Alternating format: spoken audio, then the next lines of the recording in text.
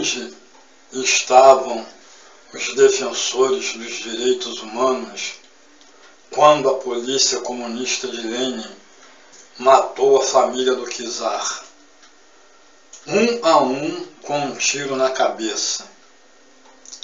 Onde estavam os defensores dos direitos humanos quando os comunistas de Pol Pot mataram 3 milhões de cambojanos, formando pilhas e mais pilhas de crânios pelo país afora. Onde estavam os defensores dos direitos humanos quando a Revolução Comunista Sanguinária de Mao matou 50 milhões de chineses? Onde estavam os defensores dos direitos humanos quando a polícia de Stalin torturou, fuzilou e matou por fome milhões e milhões de seres humanos? Onde estavam os defensores dos direitos humanos quando Che Guevara e Fidel Castro mataram friamente seus oponentes? Onde estavam os defensores dos direitos humanos quando Marighella e Lamarca mataram sem nenhum remorso várias pessoas? Onde estavam os defensores dos direitos humanos quando Carlos Prestes queria um banho de sangue com sua revolução comunista? Onde estavam os defensores dos direitos humanos quando os comunistas do PT mataram covardemente o prefeito Celso Daniel. Onde estavam os defensores dos direitos humanos quando a corrupção dos governos Lula e Dilma tomaram conta do país?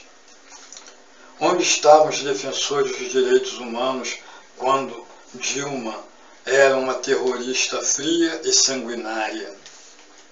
Onde estavam os defensores dos direitos humanos quando o terrorista Gabeira torturava psicologicamente o embaixador norte-americano amarrado e encapuzado. Onde estavam os defensores dos direitos humanos quando o terrorista Sirkis e outros assaltavam bancos, matando trabalhadores da segurança? Onde estavam os defensores dos direitos humanos quando comunistas promoveram um atentado covarde que quase tirou a vida do nosso atual presidente Jair Bolsonaro.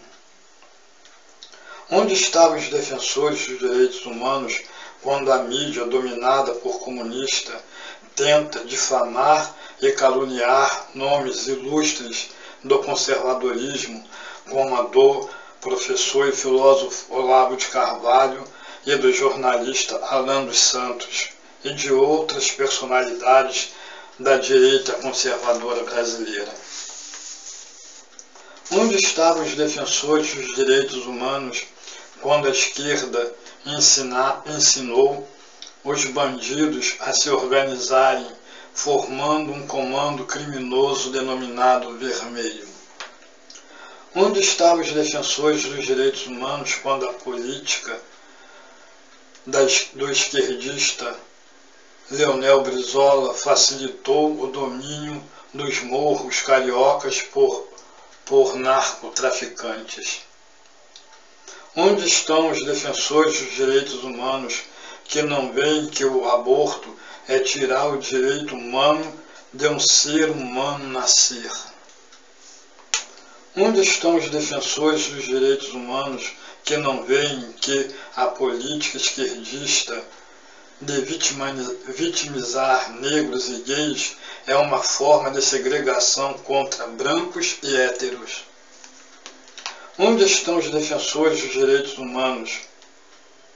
Estão nas universidades, dominada pela esquerda, no Foro de São Paulo, no STF tirânico, no Congresso de esquerdistas canalhas e direitistas vendidos, nas Forças Armadas passiva e de generais positivistas e jogadores de dominó, e na extrema e corrupta imprensa brasileira.